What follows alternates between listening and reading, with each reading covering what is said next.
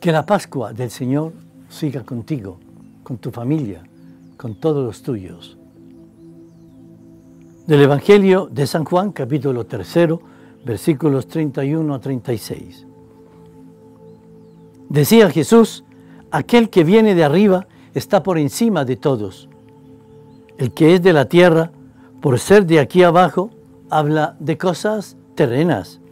Pero el que viene del cielo está por encima de todos y da testimonio de lo que ha visto y ha oído, aunque nadie acepte su testimonio. Pero hay quien lo acepta y así certifica que Dios dice la verdad. Pues el enviado de Dios transmite las palabras de Dios, ya que recibe sus limitaciones, el Espíritu de Dios. El Padre ama al Hijo y le ha dado poder sobre todas las cosas. El que cree en el Hijo tiene vida eterna, pero el que desobedezca al Hijo no gozará de ella, sino que tendrá que sufrir el castigo divino. Palabra del Señor, gloria a ti, Señor Jesús.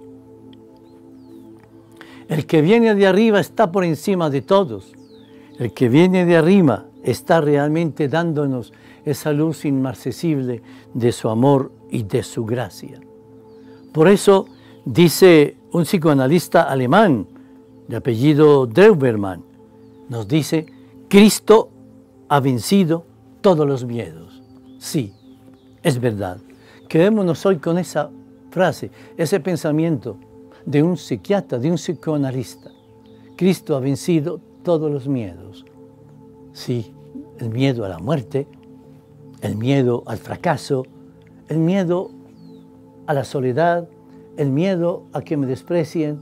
Él ha venido a vencer todos los miedos porque me ha dado su gracia, su verdad y con su resurrección me ha dado la certeza de una vida nueva.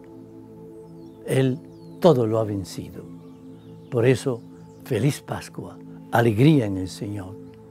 Que nos bendiga el Señor en el nombre del Padre y del Hijo y del Espíritu Santo.